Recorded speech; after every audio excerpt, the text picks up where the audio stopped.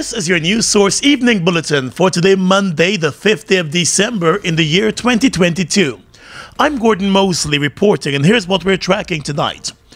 Police and GPL emergency crews were summoned to the success squatting area on the east coast of Demerara this morning after a couple was found electrocuted in an alleyway leading to their home. The two dead persons were identified by relatives as Sarojini Hansraj and Prahalal Jagnarine. The woman worked as a nurse while the man operated a taxi.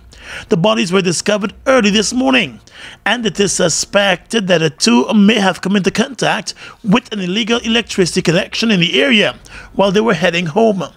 Parts of the alleyway were flooded after the heavy downpour over the weekend, according to persons in the area. The couple's young daughter discovered the bodies in the alleyway after she went in search of them. The daughter explained to police investigators that her mom left home at around 6 o'clock this morning to meet her dad on the main roadway. She said after she did not see the two returning home after close to an hour, she ventured outside where she saw the bodies in the alleyway and raised an alarm. Neighbors rushed out and contacted emergency services after noticing the two bodies lying motionless. The police said both bodies were found with burn marks to the hands and the back of the necks, and two electrical wires that formed an illegal connection were spotted hanging in the area from the couple's home to a GPL power line. The incident has once again thrown the spotlight on illegal connections in many of the squatting communities and the dangers that those illegal connections pose. Tonight, investigations are ongoing into the tragic incident. More news coming up in just a moment. Something big is here. GTT presents the moment you've all been waiting for. Tis the season to drive with GTT. Get your chance to be one of four lucky winners of a Toyota Raize. Plus, weekly giveaways and more. Simply activate a prepaid plan sign up for fiber and voice plan, pay any two bills with MMG, or join the GTT family. And vroom! It could be you. Four Toyota Raizes, four winners. Drive with GTT.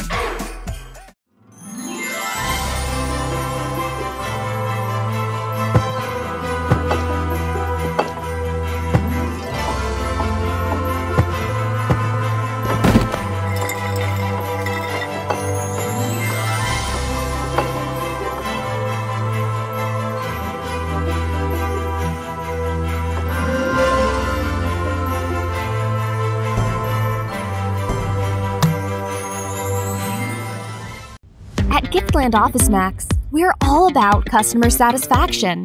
Whether it's clothing and shoes for the ladies, gents, and kids, or for the latest electronics or hardware appliance, we're always thinking of satisfying you, our dear customers.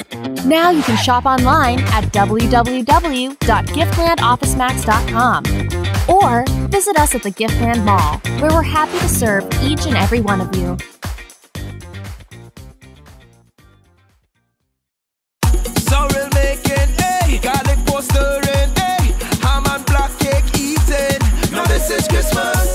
Season to get what you've always wanted with a little help from Republic Bank.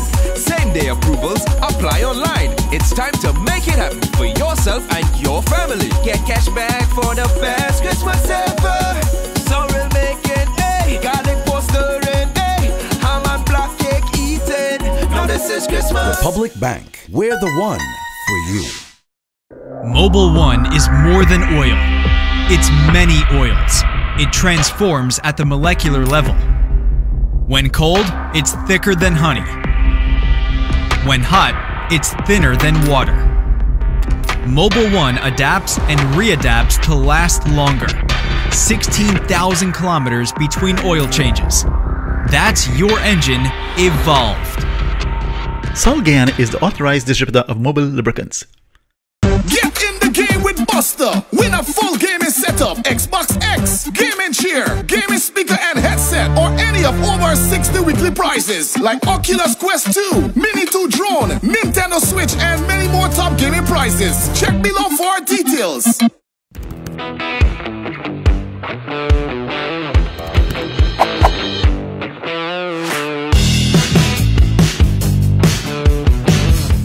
Let's tell you now that Christmas preparations in the East Coast Demerara communities of Good Hope and Lusignan were dampened on Saturday after a 29-year-old man was electrocuted while erecting a metal Christmas tree in the Lusignan area outside the home of a businessman during some rainy conditions. The dead youth has been identified as machinist Deepak Ramdin. Ramdin, along with a group of men, were in the process of erecting the 27 foot tall metal tree when the star on top of the tree came into contact with an electrical wire from a power pole. A wave of electricity rushed through the metal tree, resulting in Ramdin and three other men receiving electrical shocks and being pitched to the ground. All of the men were rushed to the hospital, where the 29 year old died while receiving treatment. The other men were admitted with serious injuries to the burns unit of the Georgetown Hospital. An investigation into that incident has been launched.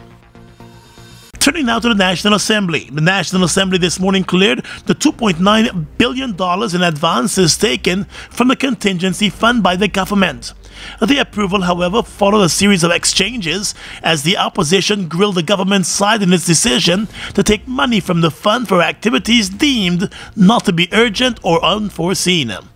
At the level of the Committee of Supplies, the opposition Member of Parliament, Volda Lawrence, asked Prime Minister Mark Phillips to defend the additional $1.7 billion allocated to his office, when in February the House approved a whopping $3.5 billion for issuance of subsidies and contributions to local organizations. MP Lawrence was keen in pointing out that the sum taken from the contingency fund represents almost 50% of the voted provision included in the national budget. In response, the Prime Minister explained that the added provision was as a result of the steep rise in fuel prices, resulting in government having to pay more for the provision of electricity to the Linden community. As a caring government, Mr. Speaker, we've decided that notwithstanding the increased cost in fuel, government will absorb that cost and not pass it on to the people of Guyana. And Mr. Speaker, that is the only reason why we requested this money to keep the lights on in Linden, Region 10. According to the Prime Minister, $1.7 billion is reflective of an invoice submitted by the Bauxite Minerals Company for electricity supply to Linden Electricity Company Incorporated. Dissatisfied with the response, leader of the opposition, Aubrey Norton, pressed the Prime Minister for a detailed breakdown of the increases that led to the need for an additional $1.7 billion. But the question did not sit well with the Prime Minister, who told the House that he will not provide the information that is already in the public domain, as he alluded to the increasing price of fuel on the world market. But Mr. Norton said while the opposition is not against government subsidizing the cost of electricity in Linden, it has a responsibility to scrutinize the expenditure. The government was also grilled in its decision to take $48.85 million from the contingency fund for the hosting of Amerindian Heritage Month, when it had ample time to approach the House for the sum to be taken from the Consolidated Fund. It was Member of Parliament Lawrence who inquired from Minister of Amerindian Affairs Pauline Sukhai why the government had not included sufficient provisions in the national budget for Amerindian Heritage Month celebrations. In response, Minister Sukhai explained that due to the COVID 19 pandemic, the Amerindian Affairs Ministry had downsized the activities for Amerindian Heritage Month. And it was not until mid year, when the majority of the COVID 19 restrictions were lifted, that the ministry decided to host a month of activities as was done pre pandemic. Sir, this is a clear abuse of the contingencies fund because it does not meet the requirement. This honorable, honorable this, member, Ms. Lawrence, you you asked you asked me to di direct that question to the honorable Minister of Finance yes, as an yes. abuse of the contingency fund. you can save the lecture, right? No, no, no, so I'll give the I'll give the honorable Minister of Finance an opportunity to answer if this is an abuse of the contingency fund. No, but may I say, sir, because I don't think you heard what? the last part to the Honorable Minister. The budget was passed, yes, in March, but this activity was in September. Why haven't we not gone to the consolidated fund? Why are we taking it from the contingencies fund? And Minister responsible for finance, Dr. Ashni Singh, said COVID 19 created a lot of uncertainties. And it was not until the numbers were under decline that the government opted to expand its calendar of activities for Amerindian Heritage Month. The evolving public health situation permitted us to reconsider the scale, structure, and design of the observance. And because we were able to contain COVID 19 in the manner that we did, we decided as a responsible government committed to the Amerindian people of our country to have a full observance. And it is very telling, sir. It is very telling that the APNU AFC would now stand in this house and seek to question and challenge this allocation to the Amerindian people of Guyana. And I'm appalled at that, sir. The finance minister said the line of questioning by the opposition was very telling, but the opposition leader said the coalition remains committed to the indigenous people of Guyana. However, it must still defend the country's resources. You keep mentioning unforeseen, but the law says unforeseen and urgent. Now, Mr. Speaker, if in March, if in March, uh, if in March COVID went, you had between March and September, how come then, yes, we admit it's unforeseen, but it could not have been urgent if you have until September to apply to the consolidated fund. The reason it was done is because for the consolidated fund, you have to get parliamentary approval, and they want it to be arbitrary and dictatorial as they normally are. Today's approved advances also included approximately $740.1 million for the Agriculture Ministry, $360 million for the Ministry of Natural Resources, and just over $50.5 million for the Ministry of Home Affairs. In a move that could possibly affect the conduct of local government elections in March of next year, the opposition APNU AFC has moved to the courts to have the preliminary list of voters for the local government elections scrapped. In the application filed by Chief Scrutineer of the APNU AFC, Carol Smith Joseph, against the Guyana Elections Commission, the Chief Election Officer, and the Attorney General, the opposition is seeking a total of 14 declarations and four orders intended to nullify the preliminary list and give rise to a new register of voters. Through her attorney, Senior Counsel Roysdale Forde, Ms. Joseph has asked the High Court to declare that the Elections Commission acted unlawfully when it opted not to compile the preliminary list of voters for the local government of elections in accordance with the Local Authorities Elections Act. Further, Ms. Joseph is asking the court to rule that GECOM is required to act in accordance with Section 11 of the Local Authorities Act in compiling the preliminary list of voters and further that it is legally required to prepare a register of voters for use at the elections for local authority areas in accordance with several sections of the same act. Through her attorney, Ms. Joseph said failure to comply with the legislation would render the register of voters for local elections null, void, and of no legal effect. She is also asking the court to declare that the constitutional duty of the Elections Commission, as provided for in Article 162 of the Constitution, is to compile a register of voters, imposes a duty to compile a reasonably accurate and credible register of voters.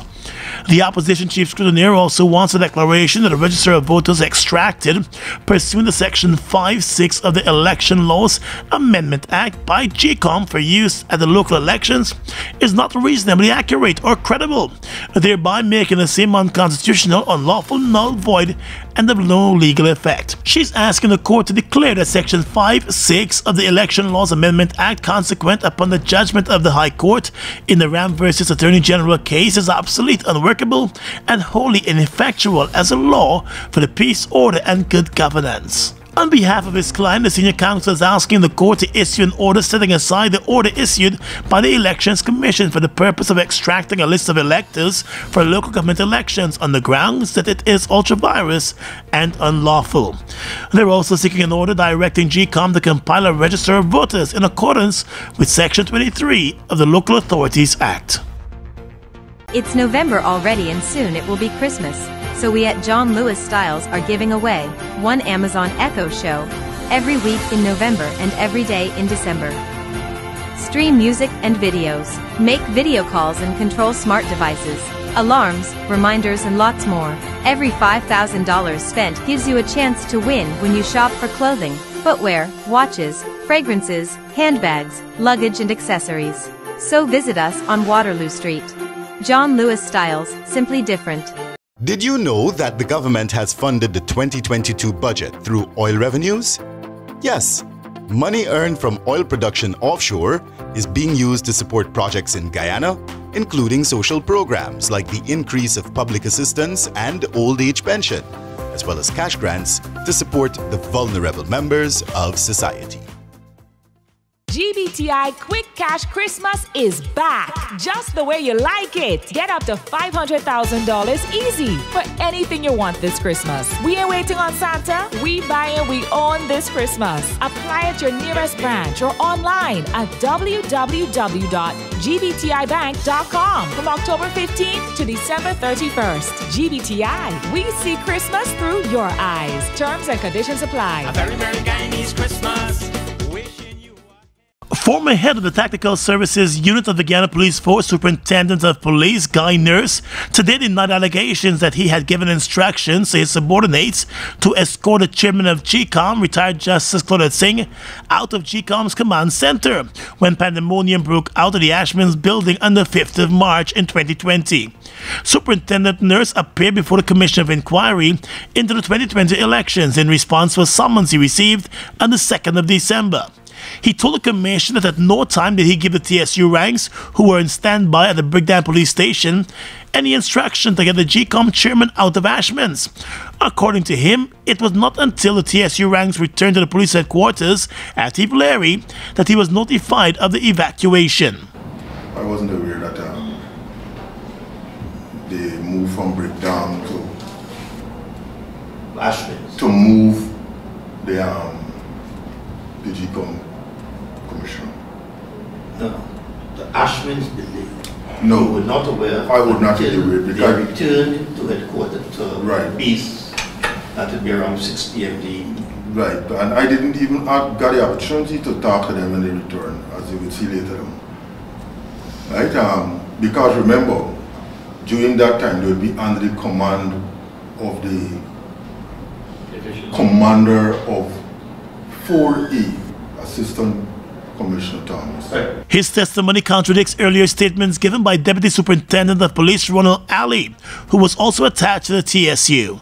Last week, Mr. Alley told the commission that it was Superintendent Nurse who had instructed him and Deputy Superintendent Clifton Davis to escort the GECOM chair out of the Ashmin's building. But today, Nurse told the Commission of Inquiry that he was attending to other duties on the 5th of March.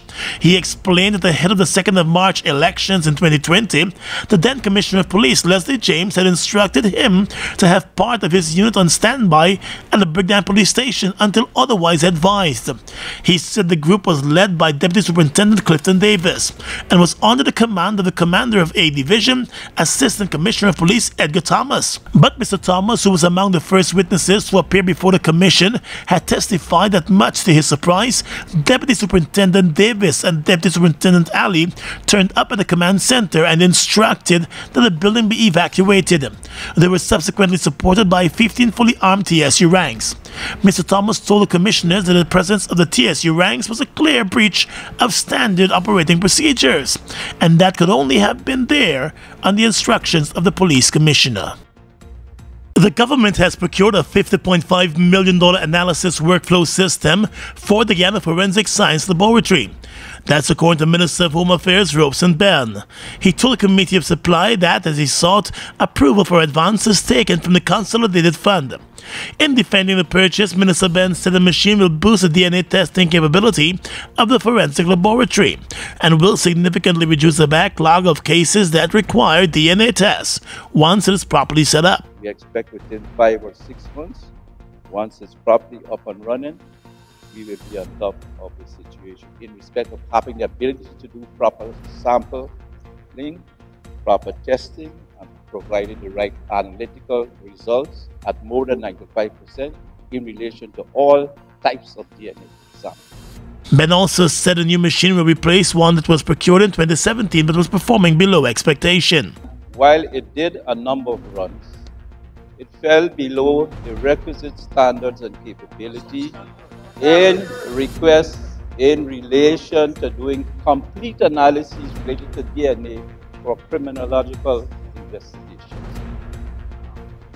Further than that, and that is to say, the machine could not run analyses for degraded samples. So perhaps if there was a fresh blood or uh, flesh sample, you will get some result with maybe 75-80% accuracy. So that was a problem in itself. It could not run degraded blood or bone samples.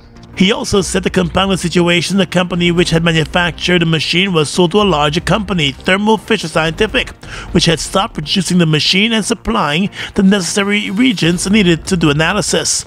The Affairs Minister said in the interim the samples are being sent abroad to be tested. It was further disclosed that five DNA analysts will soon be certified to operate the DNA analysis workflow system. Three days after he was arrested along with three others for being in possession of more than seven pounds of cocaine and just over three pounds of marijuana, a Georgetown man has pleaded guilty to drug trafficking charges. 28-year-old Charlestown resident Jalvin Ragnott appeared before the chief magistrate today and pleaded guilty to being in possession of the cocaine and marijuana for the purpose of trafficking. He accepted full responsibility for the drugs which were discovered by CANU agents during a drug investigation on Friday.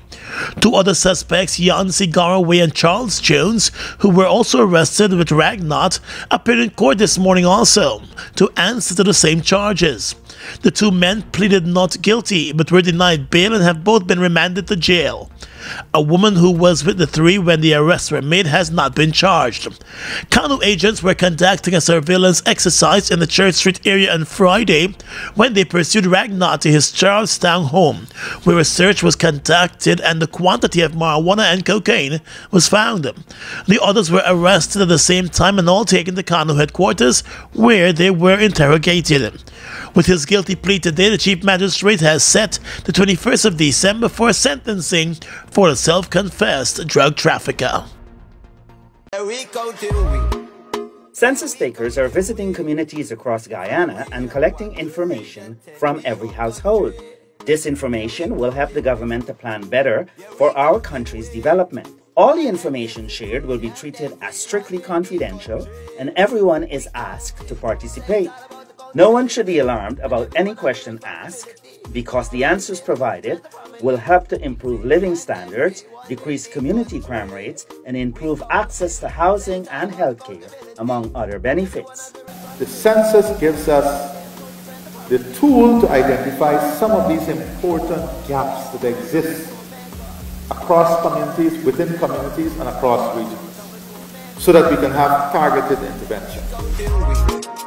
Yeah, we counting way from region one to region ten, the whole country. We way. Food Max Supermarket, located on the ground floor at the Giftland Mall, is your one stop shop for all your grocery needs. We stock a variety of imported frozen meat and food products, fresh produce, and pet supplies, freshly made bread. Rotisserie chicken and patties are also available daily. Shopping comfort today at Foodmax and let our courteous staff assist you in satisfying your shopping needs. Foodmax, the fresh food specialist. It's one of your biggest goals getting your own home, where memories are made, where happiness lives. You may feel that home ownership or renovation is beyond your reach, but we at Republic want you to know that there's always a way Ask us about our suite of mortgages. Let's help make your housing wishes come true. Or advise on how the equity in your existing home can finance other dreams and goals. Call or go online to learn more. Get in the game with Busta. Win a full gaming setup, Xbox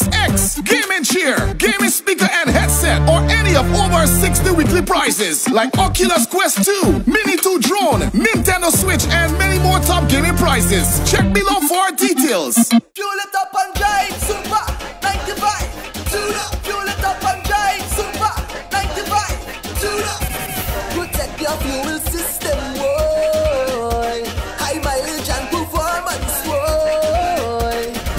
Super 95 gasoline gives you more reasons to drive and is available at 56 service stations nationwide. For affordable price, high performance, and high mileage, choose Guy Super 95 gasoline.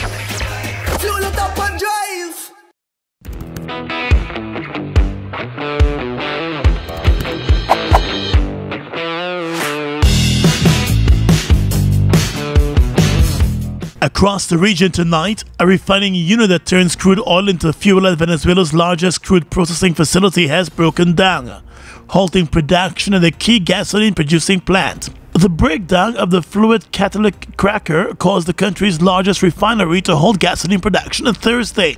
Sluggish output from the state run oil companies' refineries, which are operating at a fraction of their processing capacity, has caused intermittent fuel shortages in the South American country. The state run oil company did not reply to a request for comment on the issue. Venezuela's refineries suffer frequent outages leading to production losses due to system failures and a lack of supplies. Two of the refineries produce more than 955,000 barrels of oil per day. On the eve of elections in Dominica, the electoral office in the island is reminding electors that during all elections, the secrecy of the ballot and the protection of the secrecy are of ultimate importance and guaranteed by law. Chief Electoral Officer Ian Michael Anthony said that as they should be aware, the electorate, they go out and cast their votes on election day. And he wants to take the opportunity to emphasize a very important aspect of the country's electoral process, which is the secrecy of the ballot. He explained the process that protects the elector's secrecy even after he or she has returned from the voting booth and a portion of the ballot containing the ballot number is removed before that ballot is cast. He said the secrecy of their vote is guaranteed. The electoral office in Dominica is encouraging all registered voters to cast their ballots on election day tomorrow.